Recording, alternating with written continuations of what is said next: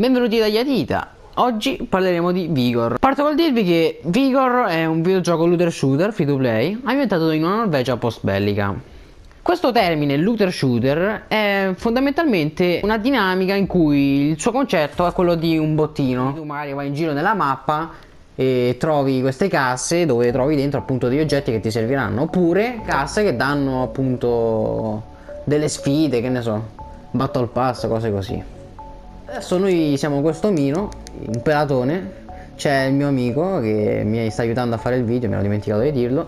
Allora sono qui per esplorare questo gioco, dobbiamo andare in giro tramite, abbiamo la mappa, l'inventario, il fucilozzo dove possiamo sparare, possiamo sparare al nostro compagno ma non lo facciamo. Possiamo t-beggare in modo strano, guardate come salta da schizofrenico. Adesso scegliamo un punto dove andare, andiamo... non ne ho idea proviamo qua a caso. Vediamo se troviamo qualcosa di bello e vediamo se riusciamo a lottare ancora non, non so niente di questo gioco quindi lo testerò insieme a voi. Un po' lo recensirò. Oh qua c'è già qualcosa. Una bottiglia di vodka. Una bottiglia di vodka. Guarda come corre il nostro Amino, tutto felice, col fucilozzo in mano. C'è una bandiera a caso. Questa sarebbe la Norvegia. Mm, bella roba. Di giù c'è una casa, direi proprio di andare in quella casetta là, esplorare qualcosa. Cerchiamo di fare un po' di parkour. La grafica non sembra malissimo, però sinceramente si potrebbe fare di meglio, eh, per carità. Vediamo se troviamo qualche bug. Già l'omino fa dei salti enormi comunque. Ma guarda, guarda che salto che fa. Andiamo bene. Mamma, vabbè. Tutto normale. Facendo parkour, andiamo con questi salti enormi. Ah! Oddio, mi sono buggato. Sto fluttuando. My name is Giovanni Giorgio. Sì, questo è quello che voglio, questo che mi piace. Guarda com'è bello il domino che fluttua. La farò scavalcare, no, eh? Ah, sì, a posto. allora, vediamo. Il mio amico va dentro la porta, io cerco di esplorare in casa, entro. Eh, buongiorno. Ah, possiamo scassinare le finestre da fuori. Interessante noi non apriamo la porta perché noi siamo incivili quindi entriamo dalle finestre. Qui c'è un loot. Abbiamo dei componenti delle cose che non conosco però vabbè noi le prendiamo lo stesso. Possiamo aprire le finestre così entra un po' d'aria. E sembra non esserci nient'altro. Ah, mi aspettavo molto di meglio solo un oggettino ho trovato. Continuiamo ad andare in giro allora il mio compagno gironzola mm, non sembriamo aver trovato chissà cosa. Lui spara a caso. Ah io ho il pompazzo eh. C'ho anche il coltellino. Ah, è un ognomo armato ah, di bello. Ah, andiamo in giro col fucile. Qua dentro c'è qualcosa di interessante? Non sembra. Semplicemente queste case sono prive di lutto cioè potevamo metterci qualcosa in più. Il Titanic questo Titanic 2.0 signori Mm. In teoria da qui si può entrare, vediamo. Sento già degli spari non promettenti. Oh, del loot. Ho preso dei, delle cose, non so manco che cose sono, però... Che cos'è? Ah, la cassa! Il nostro compagno ci ha fatto vedere. Questa qua sarebbe una, una cassa appunto dove trovi il loot. Ci sono delle armi. Vediamo quale armi possiamo prendere. Prendiamo l'RPK a caso prendi. Adesso lasciamola all'amico nostro. A lui interessa qualcosa. Qui altro loot prendiamolo. Uh, una cassa già aperta.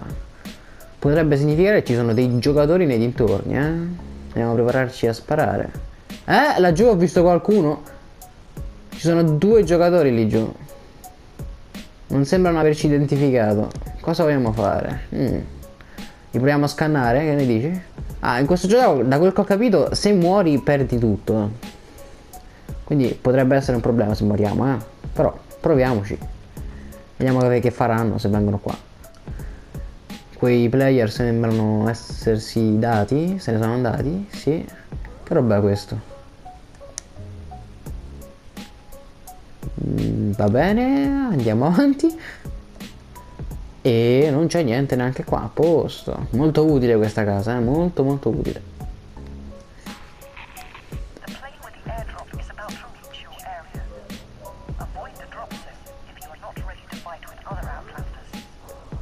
Ah, allora, eh, da quel che ho capito adesso sta arrivando un pacco da Babbo Natale, tipo non so neanche io perché c'è Babbo Natale.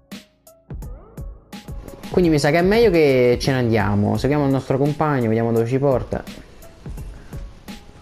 Ah, da qui si abbandona la zona, usciamo, vai. Andiamocene a casa prima che arrivano a romperci. Guarda il pelatone. Ah, adesso stiamo andando nel nostro rifugio. Quindi praticamente nella nostra casa dove non possiamo morire, se abbiamo tutte le nostre cose. Da quel che ho capito dobbiamo migliorare il nostro rifugio per andare avanti. Poi tramite appunto queste partitozze online ti trovi le cose e le porti qua dentro. Se muori ovviamente perdi tutto. Allora, ecco questo qua è il nostro rifugio. Vedi non ci sta nessuno. Siamo solo noi, la nostra bella casetta. In tranquillità, qui c'è il cubo di Rubik. Guarda che bellino, possiamo risolvere. Andando di sotto, di qua, questa parte, eh, interagendo con questo, il tavolo da lavoro, dovremmo poter migliorare la nostra casa in qualche strano modo. Per migliorare il nostro rifugio dobbiamo fare queste migliorie qua. Ovviamente per migliorare bisogna raccogliere i materiali, quelli che avete visto prima. Vediamo se possiamo fare qualcosa. No, sono troppo povero. Non posso fare niente. Eh vabbè. Questi che vi sto per elencare sono degli argomenti che ho fatto mentre giocavo. Il gameplay è molto noioso, bisogna girare nella mappa in cerca di loot, loot che è praticamente inesistente e per quanto riguarda il PvP la mappa è grande e ci sono pochi giocatori, pertanto è difficile fightare. Per di più il personaggio muore con pochissimi colpi e ciò rende il PvP ancora più inadatto al gioco. I sciopponi sono molto più avvantaggiati dei play normali, essendo che questi possono comprarsi oggetti, non perdere loot ed aumentarlo. In più possono avere armi che gli altri non hanno. Allora, partirò col schematizzarvi il sistema di loot in tre parti, cioè partendo da case, pacchi e giocatori. Prima di tutto, partendo dalle case, ci sono tantissime case nella mappa, c- la mappa ovviamente è enorme, ed è piena di case tutte uguali, in cui non c'è una beata minchia, non c'è assolutissimamente niente. Tu puoi entrare nelle case, ma ah, su una casa su 10 ci sarà un qualcosa dentro, che poi è anche un qualcosa di inutile. Quindi le case sono altamente inutili. Nella seconda parte ci sono i drop. I drop sono delle cose che vengono lanciate dal cielo in alcuni punti della mappa, da degli aerei o cose simili, tipo i Battle Royale o cose del genere. Scendono e tu da lì puoi andare a prendere gli oggetti, che lì c'è un minimo di loot, quindi è anche abbastanza decente, però i giocatori saranno tutti lì ammucchiati e cercando di rubarsi il loot, quindi fate molta attenzione. Poi, infine, la terza parte è quella più classica, penso che dovreste sapere tutti, che è quella ammazzando i giocatori. Ammazzando i giocatori riceverete il proprio loot. Quindi tu ammazzi il giocatore e prendi la- le sue cose. Pur non essendo una grafica maestosa e spettacolare, la grafica di questo gioco, per un gioco free to play, è alquanto più che decente. Anche se ci sono innumerevoli bug grafici, come ad esempio posso elencarvi quello del fucile che ol- entra dentro il cappuccio, cioè viene, viene una cosa un po' brutta, oppure l'albero, i rami degli alberi che entrano sotto la terra, è un qualcosa di inaccettabile. Del resto va bene. I personaggi di questo gioco, non so per quale strano motivo, sono tutti fottutamente pelati. Ogni singolo personaggio non ha i capelli in capoccia. Adesso io mi chiedo per quale motivo fare ciò. In più, anche se tu cambi un personaggio, ad esempio ti metti il secondo, il terzo, il quarto, hanno tutti gli stessi fottutissimi abiti con lo stesso colore. Non cambia niente. Potevano avere un po' più di creatività e mettere magari quello viola, quello rosso, quello verde. No, invece tutti con lo stesso colore. Il voto personale che do a questo gioco è un 5.